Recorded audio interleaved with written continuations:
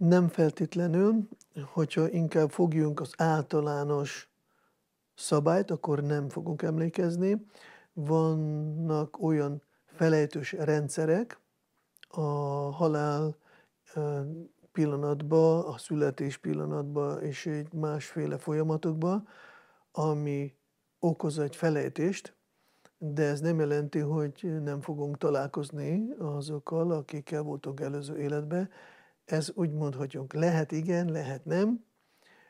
Annyira bonyolultak szövevények a karmának, hogy nehéz ezeket szállanként kinyomozni, de minden lehetséges és ahogy mondtam, gyakrabban nem tudjunk emlékezni, ki kell találkoznunk, ki kell nem.